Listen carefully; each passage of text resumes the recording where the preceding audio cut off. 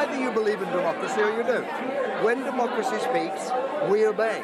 All of us do. And then if you put your nation first, then you make the best use of it as you can, the decision you've got. If you are disappointed one way, you still apply yourself to making sure that the British people's decision is followed, is obeyed, and we do the best in the national interest with that decision. Any people who retreat into we're coming back for a second one, they don't believe in democracy. Anybody who says, well, I'm disappointed, I'm never going to fight against this, that is, I think, an abnegation of the very thing we stand for. You cannot run a democratic system unless people accept the democratic judgment and then put the national interest first.